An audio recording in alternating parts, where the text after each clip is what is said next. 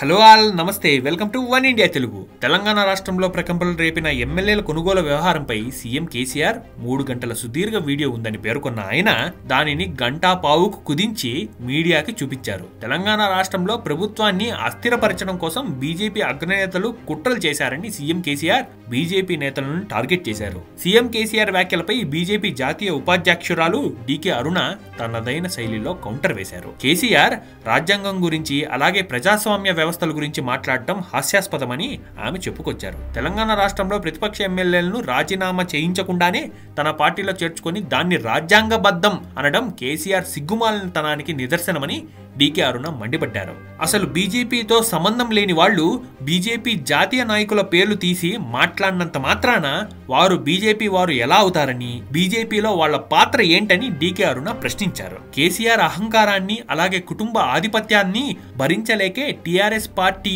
రాజీనామా చేయాలని నిర్ణయించుకున్న ఎమ్మెల్యేలను నియంత్రించడానికి ఆడుతున్న ఈ కొనుగోళ్ళ డ్రామాకు బీజేపీ శ్రేణులు భయపడతారని భావించడం కేసీఆర్ పిచ్చితనమే అవుతుందని డీకే అరుణ స్పష్టం చేశారు. దేశ దేశంలో దుర్మార్గంగా ప్రభుత్వాలను కూల్చే కుట్ర జరుగుతోందని కేసీఆర్ చేసిన వ్యాఖ్యలపై మండిపడ్డ డీకే అరుణ దుర్మార్గంగా పక్క పార్టీ నేతలను పార్టీల ఫిరాయింపులు చేసే తత్వం కేసీఆర్ కే ఉందని ఆమె చెప్పుకొచ్చారు. నెలకోసారి మీడియాకు ముందుకు వచ్చి గంటల తరబడి చెప్పిన సోదే మళ్ళీ మళ్ళీ చెబుతూ జాతీయ నాయకుడు అయిపోయావని భావిస్తే అది కేసీఆర్ మానసిక పరిస్థితికి అద్దం పడుతుందని డీకే అరుణ అభిప్రాయపడ్డారు. భారతీయ జనతా పార్టీ దేశవ్యాప్తంగా అలాగే తెలంగాణతో సహా అన్ని రాష్ట్రాల్లో అధికారంలోకి రావడమే లక్ష్యంగా పనిచేస్తోందని ప్రజల మద్దతుతో ప్రజలకు సేవ చేస్తూ దేదీప్యమానంగా వెలుగుతున్న బీజేపీ ప్రభను చూసి తట్టుకోలేక కేసీఆర్ ఈ తరహా చర్యలకు పాల్పడుతున్నారని డీకే అరుణ పేర్కొన్నారు.